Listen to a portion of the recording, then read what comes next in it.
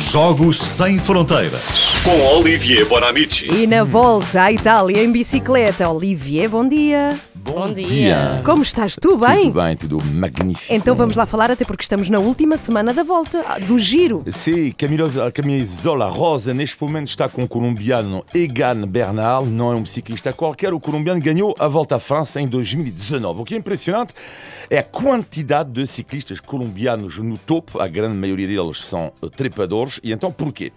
Primeira trepador, explicação... Peraí, peraí, trepador é, quer dizer que sobe montanhas, é isso? Exato, Sim, sobe, sobe muito bem a montanha. Sim.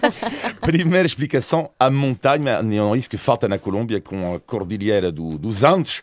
Exemplo, uma montanha, chama-se Paramo de Letras, uh, 3.500 metros de altitude, 80 km de comprimento, umidade 100% e tu estás no pé uh, da montanha, fazem, uh, são 35 ou 40 graus. Até as moscas uh, devem transpirar lá.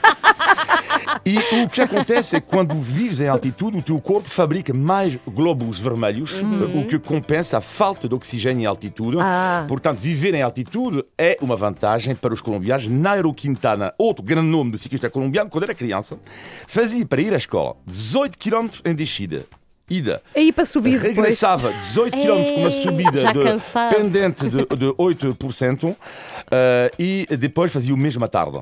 Incrível.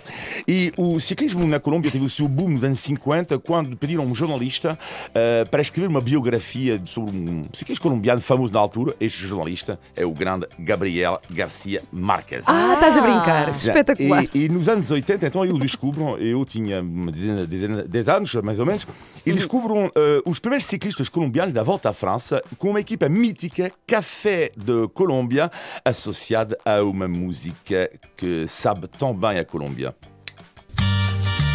Ah, ah, com esta música até eu andava bem de bicicleta. de mi amor. Adoro. E no, no, nos anos 80, Uh, existia também uma outra equipa chamada Osito. E, e, nesta equipa uh, o dono era o narcotraficante Pablo Escobar.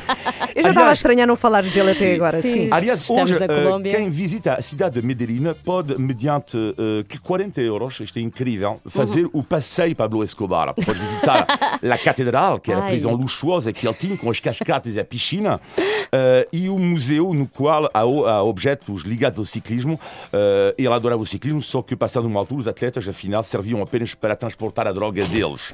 E muitos deles até acabaram assassinados. Ah, Mas a paixão dos colombianos o ciclismo faz sentir-se na televisão, mas na rádio, nos anos 60 e até hoje em dia. A Rádio Genial, o nome da rádio colombiana privada é Rádio Caracol. e vamos ouvir Ruben Arcila, o poeta do ciclismo. Nairo Quintana chega em 2013 na volta à França e no ar, Ruben Arcila. Aquí están entrando en baranda con el tricolor colombiano. Va a ganar un hombre guerrero, un halcón montañero que sube ligero y en las montañas se va a reinar. Se lo digo yo, se lo digo yo que me lleva el llanto. Esta es la emoción de ser colombiano, uh! César. Isto é poesia. Ruben Arcila em grande. Existe a trilogia na Colômbia: Homem, Montanha, Religião. Eles são super crentes, os ciclistas, até muitos que correm com uma medalha da Virgem Maria. E uh, para ele, a montanha é uma espécie de, de aproximação uh, a Deus. Uh, e há, por exemplo, Chepe González, que era um ciclista dos anos 80, e ele tinha sempre dois bidões, um com água normal e outro com água benta. Hum. E ele só bebia a água normal, claro, como é evidente. e para terminar, e só podia terminar assim, porque eu adoro esta autora, uma citação de Gabriel Garcia Marques. Ah, vamos a isso. Lembrar-se é fácil para as pessoas que têm memória, mas esquecer-se é difícil para as pessoas que têm um grande coração. Oh. Olha, bonito. E ficou bonito. assim. Ficou ok, assim. estamos todas a aplaudir. Olivia, beijinhos até quarta-feira. Sempre connosco, Jogos Sem Fronteiras, à segunda e à quarta. Beijinhos.